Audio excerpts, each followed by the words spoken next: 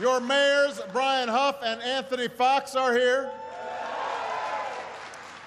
Two out. You guys.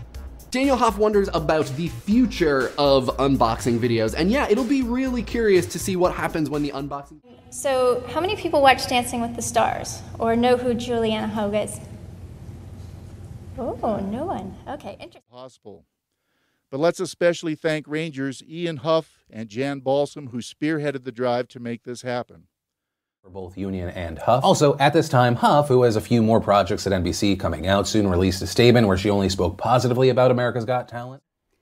In 2012, Dr. Francis was named the Hough Family Chair of Florida Studies at the University of South. Divisation looks like um, Daniel Hough seems to go the route of uh, gentle encouragement, whereas Mushroom Man Third talks about disincentive.